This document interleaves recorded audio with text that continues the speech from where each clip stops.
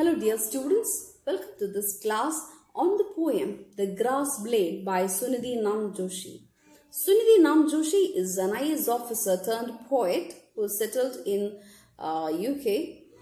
Uh, she went to US, Canada and many other places and published many works, uh, especially this feminist fables, which is a reworking or retelling of uh, myths uh, and uh, it's a subversion of uh, the female male literary tradition. She writes for children. She writes about cultural identity, gender equality, oppression, uh, sexual orientation, and so on. The poem that we are learning today, that is the grass blade, it's about oppression faced by women and how they resist to that oppression in a very different uh, way. She brings in the image of a grass blade and the sickle and the person who uses the sickle to cut the grass blade. So this is the imagery that we get uh, from the poem. It's a very beautiful but a very small poem.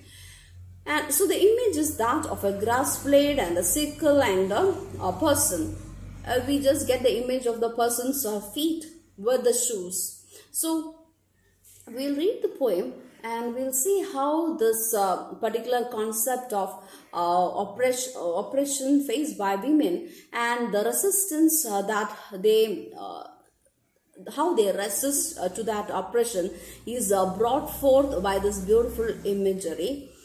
And uh, this poem, The Grass Blade, is taken from the collection Sycorax, New Poems, New Fables and Poems. So it's a collection of poems and we find this grass blade from it. I want all of you to take the page 77 of your anthology, Breaking the Silence. So we'll read the poem. It's a very beautiful, uh, there are only a few lines. As the first blade bends, grass blade murmurs, I bend but do not break. Foot keeps coming down, passionate grass blade mounts a campaign. Grass blades henceforth to be made of glass feet henceforth to travel shoeless. People walk away. Why get hurt? Oak tree observes. Feet are not relevant. So it's a very beautiful poem. Only a few lines are there and each line carries uh, different layers of meaning. Where it is deeper than we uh, actually see.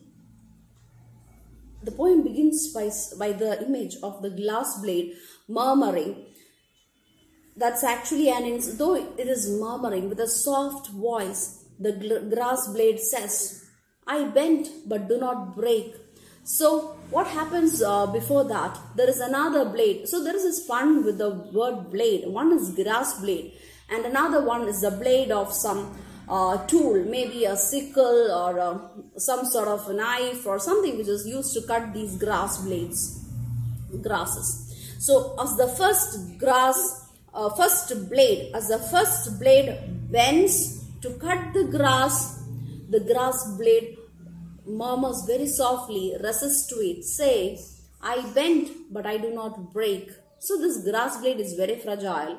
So it is a reference to the fragility of uh, women uh, face because the fragility is due to many uh, things you know maybe because of the customs and traditions uh, there are certain things which are which uh, chain women to the four walls of the uh, house. So all these things are there, but they bend women, they bend us, but they do not break us. These customs and traditions, they weigh me down and bend me, but it cannot break us. So this is an instance of resistance that we find here.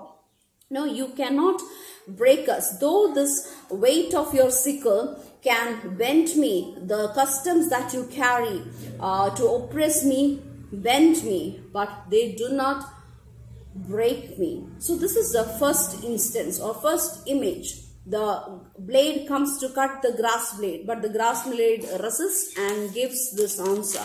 You cannot, um, you cannot break me. Though I bent with the weight of tradition and a patriarchal society and other violence, but I am not going to break down. Then this resistance doesn't take you anywhere. Maybe during, uh, like, it doesn't actually make any sense uh, to uh, the society. Foot keeps coming down. You know, the foot uh, like these customs and uh, traditions and other instances of oppression, violence against women, it keeps coming. It, it keeps coming on. But now it's not a soft sound that we hear from the grass blade. Now the passionate grass blade, the grass blade is now uh, passionate about uh, her rights and says, now she makes a campaign, says, the grass blade mounts a campaign and there are two slogans that she uh, brings about. One is, grass blades henceforth to be made of glass. It shouldn't be, uh, like, it should be made of glass. And then feet. One is about herself. That is, she should be made of glass. And then she says, feet henceforth to travel shoeless so that I, the grass blades won't be trampled. But on the other hand, there is another issue here. Now what happens? Now it is hard. It is very strong, the glass blade, because it is made of glass. But the thing is that it makes it brittle. Glass is brittle. You can, it is easily breakable.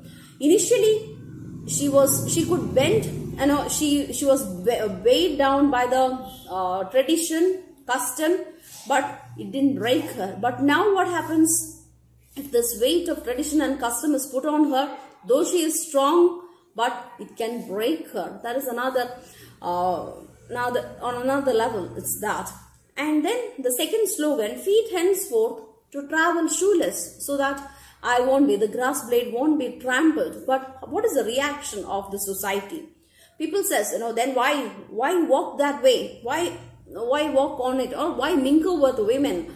Um, without like I don't want to. These shoes, you know, it refers to the traditions and customs and certain things used by the society to oppress women, to uh, put them behind uh, the four walls and to suppress their talents. So without that, you know, uh, like without controlling women, people like the society always wants to control women, men wants to control women.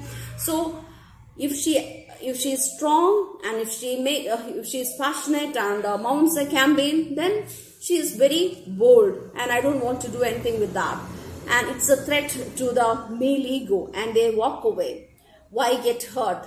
Saying that they move away. So then we find another oak tree maybe a critic somewhere uh, some, uh, from outside. Here uh, the that oak tree observes feet are not relevant. So actually in our Greek mythology, this oak tree resembles an oracle. So this is as if an oracle speaks. So when these men walk away, uh, hearing that you know they should uh, be shoeless any uh, after, after I mean shoeless henceforth that is you know uh, they shouldn't actually uh, treat women uh, or oppress women then they walk away saying that like saying that I don't want to get hurt.